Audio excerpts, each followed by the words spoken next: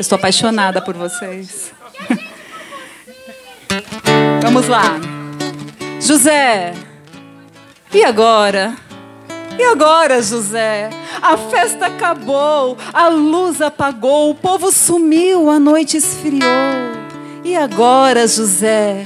E agora, José?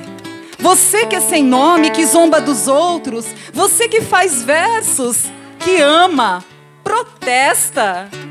E agora, José? Está sem mulher, está sem discurso, está sem carinho, já não pode beber, já não pode fumar, cuspir. Já não pode. A noite esfriou, o dia não veio, o bonde não veio, o riso não veio e não veio a utopia. E tudo acabou, e tudo fugiu, e tudo mofou. E agora, José? E agora, José, sua doce palavra, seu instante de febre, sua gula e jejum, sua biblioteca, sua lavra de vidro. e seu terno, seu terno de ouro, sua incoerência, seu ódio, José. E agora? Com a chave na mão? Quer abrir a porta. Não existe mais porta. Quer morrer no mar, mas o mar secou. Quer ir para Minas.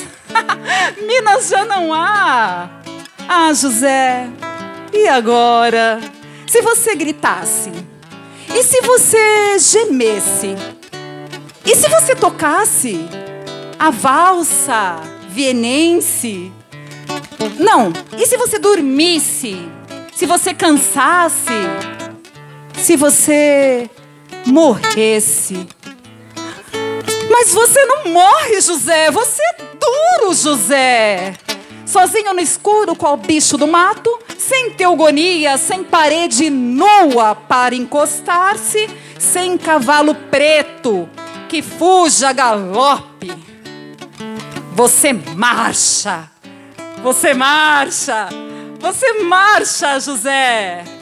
Ô oh, José, marcha para onde? Carlos Drummond de Andrade.